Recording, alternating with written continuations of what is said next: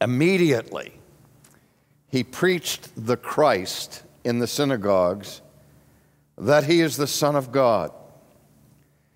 And then all who heard were amazed, and they said, Isn't this not he who destroyed those who called on this name in Jerusalem? And has come here for that purpose, so that he might bring them bound to the chief priests? But Saul increased all the more in strength and confounded the Jews who dwelt in Damascus, proving that this Jesus is the Christ. Now, after many days were passed, the Jews plotted to kill him. But their plot became known to Saul, and as they watched the gates day and night to kill him, the disciples took him by night and let him down through the wall in a large basket. And when Saul had come to Jerusalem, he tried to join the disciples, but they were all afraid of him and did not believe that he was a disciple. But Barnabas took him and brought him to the apostles. And he declared to them how he had seen the Lord on the road, and that he had spoken to him, and how he had preached boldly at Damascus in the name of Jesus. And so he was with them at Jerusalem, coming in and going out. And he spoke boldly in the name of the Lord Jesus and disputed against the Hellenists. But they attempted to kill him. And when the brethren found out, they brought him down to Caesarea and sent him out to Tarsus. And then the churches throughout all Judea, Galilee, and Samaria had peace and were edified. And walking in the fear of the Lord and in the comfort of the Holy Spirit, they were multiplied. The Word of God for the people of God. Let us pray. Father, again, we thank you for this record of holy boldness by which this new convert, Saul, was used as your chosen instrument to awaken multitudes of people to your identity. And we pray for that same kind of boldness in our lives, in our preaching, in our witness, in our own day. Speak to us now through this text, for we ask it in Jesus' name. Amen. Just to recapitulate where we've come in our study of the book of Acts, we remember that Saul had left Jerusalem on a mission to root out Christians in Damascus, and he got orders from the high priest that authorized him to drag them from their homes and bring them back. And so he left the city breathing out threats with an entourage, a retinue of mounted soldiers or helpers with him, and he left in strength, but was interrupted on the route to Damascus by the intrusion into his life by the risen Christ. And we looked at that episode in which the Apostle Paul was first converted. And he left Jerusalem in strength. He entered into Damascus being led by the hand because God had struck him blind. And recall that then he had been taken to the street named Straight, where there Ananias ministered to him, laid hands upon him, the Holy Ghost anointed him, and the scales like flakes fell from his eyes, and he was able to see. Then we read in the text this morning that this one who came blind into the city of Damascus, being led by the hand, became so powerful in such a short period of time that he had to leave the city because there was a conspiracy there to kill him, and he left by way of being secreted out a window on the wall of the city and lowered down in a woven basket like so much dirty laundry. So you can imagine the radical shifts in the circumstances and situation of the apostle from the time he first left Jerusalem in power, led in humility into Damascus, and then flees from the city in weakness in a basket that his life may be spared.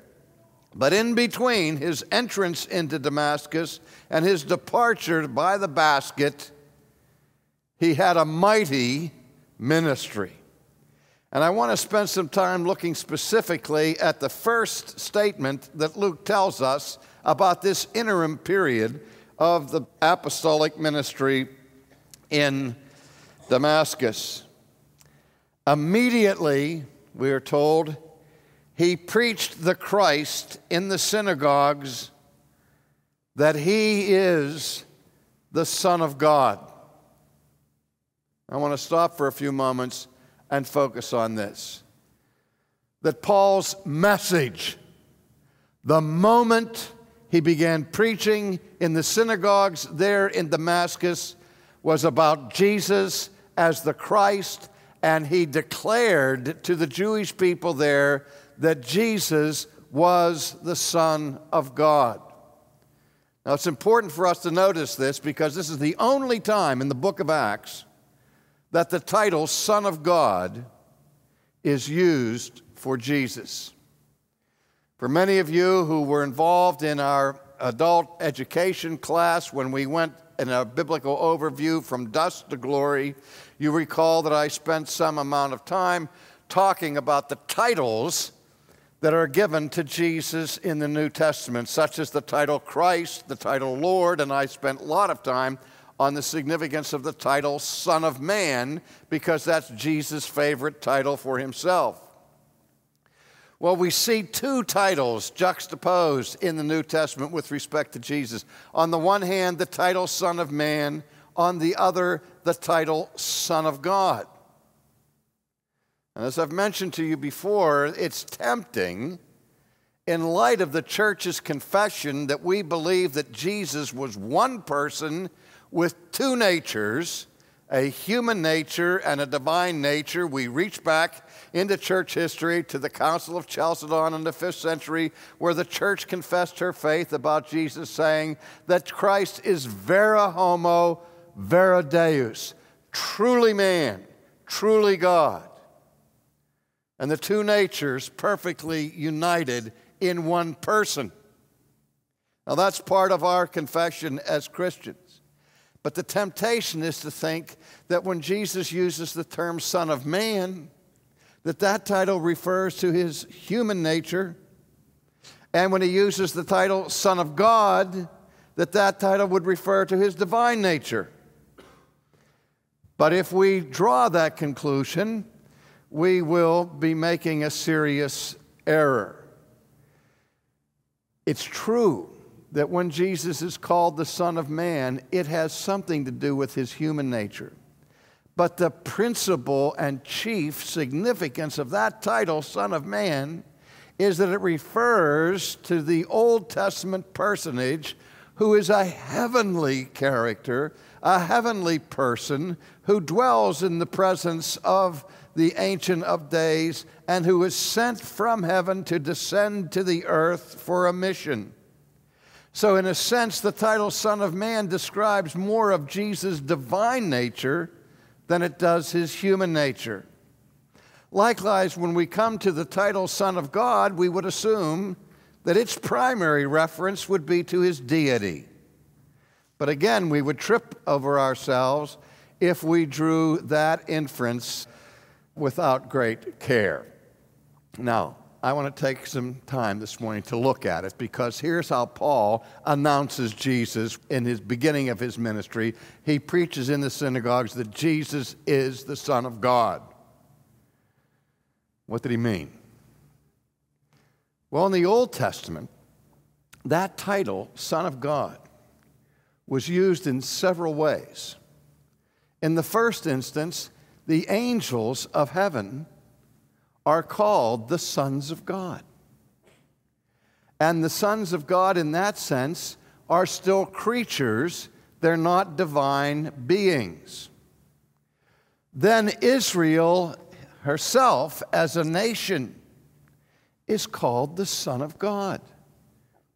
Remember the quotation in the New Testament from the Old Out of Egypt have I called my son.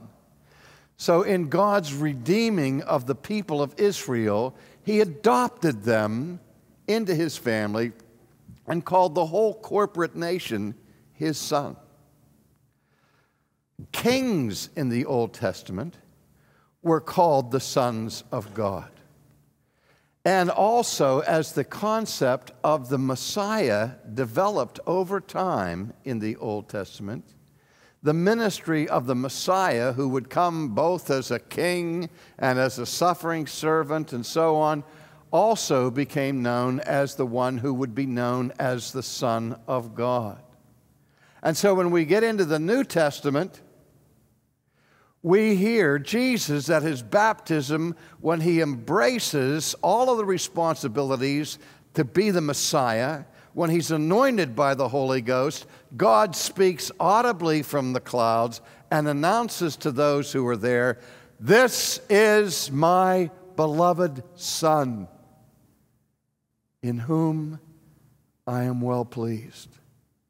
And then later on, again, God speaks from heaven audibly, saying basically the same message This is my beloved Son. Hear him, listen to him. And so, what are we to make of this? Well, in the first instance, in the New Testament, the idea of sonship is inseparably related to obedience. Remember the controversies that Jesus had with the Pharisees over their relationship with Abraham. Remember? The Pharisee says, We're the children of Abraham. Jesus says, You are not. He said, If you were the children of Abraham, you would do what Abraham would do Abraham rejoiced to see my day, and you reject me every minute. And before Abraham even was, I am. Do you remember that interaction there? And then he said, You're not the children of Abraham, but you are of your father, the devil. Now that's quite a contrast between being called the children of Abraham and being called children of Satan. Why did Jesus say that these opponents of his were children of the devil? Well, he answers that question for us. He said, You are the children of the one you obey. And you're obeying Satan, not Abraham, not Moses, not God. And since you obey Satan, it can be said that you're the children of Satan. Now, conversely, the same idea is used to describe sonship with respect to Jesus. You are the child of the one whom you obey. Jesus is uniquely the Son of God in the sense that he, of all people in history, was completely and absolutely obedient to the Father. In his humanity, he was the Son of God.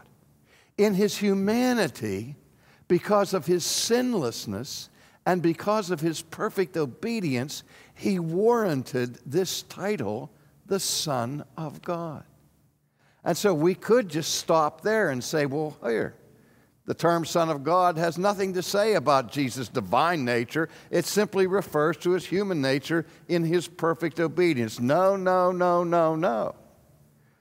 Because the New Testament, though it clearly talks about his sonship in terms of obedience, nevertheless goes beyond it to the transcendent aspect of Christ's unique relationship to the Father. Now, some of you will recall when we preached through the Gospel of John, that at the very beginning of our study of the Gospel of John, in the prologue to the Gospel of John, at the end of that, Jesus is described by John as the monogenes, the only begotten of the Father. Remember that? Now, that's a loaded term. It doesn't mean the first begotten, but the prefix mono means the uniquely begotten one, the only one that ever had been begotten of the Father, the only one that ever will be begotten of the Father, that there is a unique begottenness that is in view there with respect to Jesus. Now, it's that language of begottenness that provoked one of the most serious controversies in all of church history in the fourth century that made it necessary for there to be an ecumenical council of the whole vast expanse of Christendom to come together to Nicaea to meet in council, out of which came the Nicene Creed. Now, just a few moments ago, we stood and we sang the Gloria Patri. Remember that? Sure, you do. Wasn't that long ago. And we sang the words Glory be to the Father, and to the Son, and to the Holy Ghost, as it was in the beginning, is now, and ever shall be, world without end. Amen. And when we sat down, our beloved pastor, Tim, got a little excited after we sang the doxology. And what did he say? Do you remember? Take that, you Arians. Because he was referring back to the fourth century dispute when Arius denied the deity of Jesus. Arius said that Jesus was a human being who was uniquely adopted by the Father for his mission but he was not divine. He was not eternal. He was not of the same substance or essence as God. He was a creature. And how do we know it? Because the Bible says he was begotten. And the Greek verb to beget, geno, means to be, become, or to happen. And it refers to those incidents and events that indicate the beginning of something in time and in space. And Arius argued from the text that if the Bible says Jesus was begotten, that means he had a beginning. And if he had a beginning, he's not eternal. And if he's not eternal, he's not God. So we ought not to be attributing deity to Christ. That was what the Council of Nicaea was all about. That's what the Nicene Creed was all about when the Nicene Creed responded with the famous phraseology that Christ was homoousios, of the same substance, the same essence, the same stuff as the Father, declaring the faith of Christendom that Christ is co substantial and co eternal with the Father. And then it uses the language of begottenness, where it says in the Creed that Christ was begotten comma, not made. In other words, the church acknowledges that the Bible speaks of the begottenness of Jesus, but the begottenness here refers to an eternal relationship, an eternal begottenness that makes it set apart from any other kind of begottenness you ever follow by that term monogenes, that Christ is individually, singularly, the only one ever uniquely begotten eternally of the Father because he is very God of very God. There never was a time when the Son was not. And so the church sang her confession, saying, Glory, a divine attribute. Glory be to the Father and glory be to the Son, and glory be to the Holy Ghost, as it was in the beginning, that is, from all eternity, is still going on. God is still triune. He was always triune, and He evermore shall be triune. Is now and evermore shall be world without end. Amen. It's that radical message, and I use the term radical carefully, coming from the Latin radix, which means root. It is that root message that the Apostle Paul immediately proclaimed. Where he saw Jesus as an enemy to the purity of Jewish monotheistic religion, now it dawned on him that the Messiah of Israel was nothing less than God incarnate. And so when he was preaching in the synagogues that Jesus was the Son of God, he was using that title in the fullest measure that it could be used to apply to Christ. And of course, when he did that, when he made that declaration, he was met with astonishment and amazement by his hearers. First of all, because of his about face, they said, Isn't this the one who destroyed everybody who called on this name, Jesus, in Jerusalem? And had come here for that purpose, that he might bring him bound to the chief priest? And the answer to that question, ladies and gentlemen, was yes. Yes, this is the same guy. This is the guy who came here to bind the followers of Jesus and drag them back to Jerusalem. And when he left Jerusalem, he didn't come as a one man vigilante against Christians. He came with the full authorization of the high priest. He came with the warrant for the arrests of Christians issued by the highest authority in Israel, the high priest at Jerusalem. However, something happened between the beginning of that mission and his arrival in Damascus. What happened simply was this he met the high priest he met the eternal high priest, the high priest who is high priest forever after the order of Melchizedek, who will never retire, who will never abdicate his office, who will never leave his office by dying, as all the lines of high priests in Israel had, one after another. Their term was limited, their duration was finite, but the high priest changed the orders,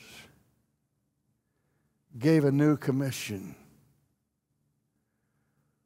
overruled and trumped the high priest in Jerusalem, and gave Paul a whole new mission, which he began to carry out, we are told, immediately. And so, first, he was greeted by amazement. But we are told Saul increased all the more in strength and confounded the Jews who dwelt in Damascus, proving that Jesus is the Christ. Well, this went on for just a few days until the astonishment of the local Jewish community turned to rage and they plotted to kill him. But Paul heard of the plot, and we saw already that he escaped their hands by being let down from a house. In those days, the city walls would often include within them homes that were built right on the wall that were part of the wall. And so the friends of Paul took him into the house and dropped him out of the window in this basket in the midst of the night so that he could escape.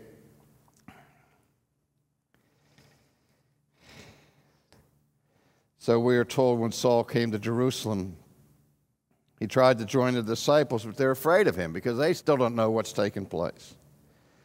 But Barnabas, whose name means son of encouragement, interceded for Paul, vouched for Paul to the disciples who were gathered here in Jerusalem, and told how he had preached boldly at Damascus in the name of Jesus.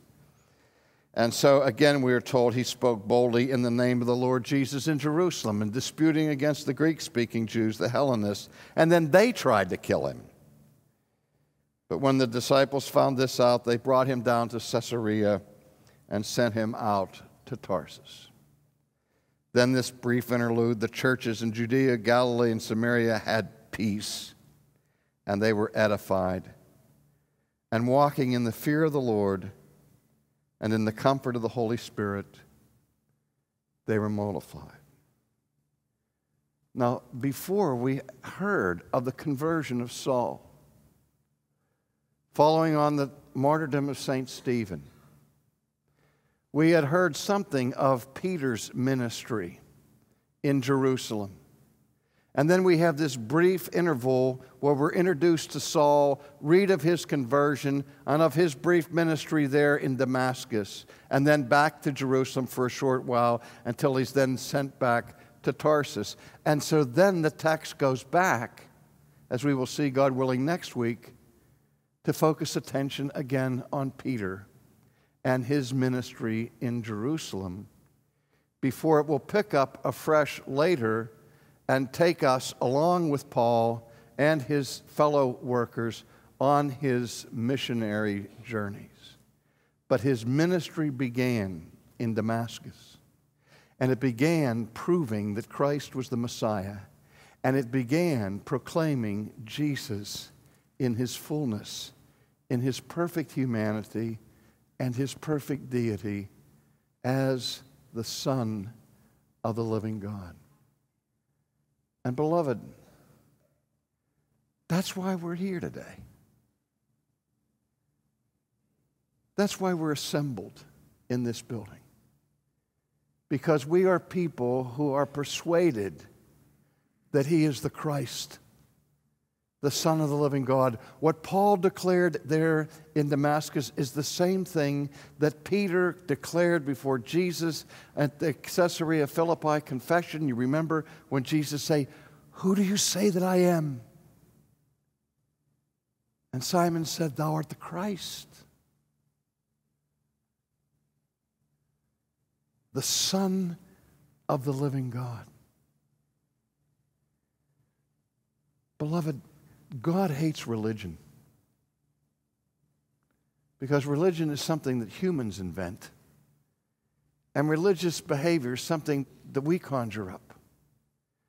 But what Christianity is about is devotion to our creed, not because it's written down, but because of the substance of the truth that's contained therein. We are to be people who are persuaded that Jesus is the Christ that God's Son, His only begotten Son, came into this world for us and for our salvation. And we come now each Sabbath day to give the sacrifice of praise, to give honor, to give worship, and to give adoration to Him. Finally, this last thing, I, one of my things I had to do this week was write a Tabletalk article for several months from now. You have to do them in advance. And it's on worship. And I was asked to write about how the nature of God should teach us anything about worship. And I thought back, as Francis Schaeffer, three fourths of the way through the 20th century, he wrote a book entitled, How Shall We Then Live? Do you remember that? In light of the impact of modernity and postmodernism, Schaeffer was musing on that. How are we going to live as Christians in a strange and foreign land in this day and age? How should we then live? Well, I think the question now is how should we then worship? That's the question how? But if you're a journalist and you're writing a story, you have to look at certain things as you investigate the facts. You want to know the answer to certain questions like who, what, where, when, how, and so on. Well, the big question today is the who question. Who do we worship? Because who we worship defines how we worship. I'll tell you what, I almost cry when I go past churches and I'll see on their advertising outside, they'll say 9:30 service, traditional, 11 o'clock service, contemporary. Or I'll see on the sign, our worship is blended. That's the language of the contemporary church. I look at that and I want to weep and I say, why would anybody have blended worship? Why would anybody say, Here, we're a ecclesiastical cafeteria. If you want one style, you come at 9:30. If you want another style, you come at 11. The reason I weep is because I know what's going on. I know what's driving the changes, the church growth movement that asks the question always and everywhere what do the people want? Ladies and gentlemen, God doesn't care what you want. The issue is what does He want? Who is it that we're here for? We're not here to please unbelievers. You can try to reach them in evangelism and during the week, but corporate worship on Sunday morning is for the body of Christ, for believers. And it is for believers to be brought before the living God and to approach Him as one who is holy. So the how question must always be answered by the who question.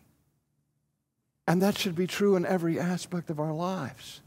That how we live our Christian lives should be determined by who we understand God to be and who Jesus is. We have to do with the Son of God. And though we're called to enter boldly into his presence, and that we shouldn't be terrified by him, and even though God is not only transcendent, but He's immanent and He's close to us and He dwells with us and He comforts us and says, Come ye to us. He never, ever, ever, went as close as we get to Him, and as nice as He is to us, and as nice that we can call Him Father and all of that, He never stops being holy. And that should be manifested in how we worship Him. Because I believe that how people worship God speaks louder about their understanding of who He is than any creed or any theology that could ever be written. God grant that the people of St. Andrews will know who He is and who it is we have to do when we enter into His house with the sacrifice of praise. Let's pray. Our Father and our God, we have trivialized who you are. We have failed to show reverence and awe before you. We have not regarded the sanctuary as a holy place.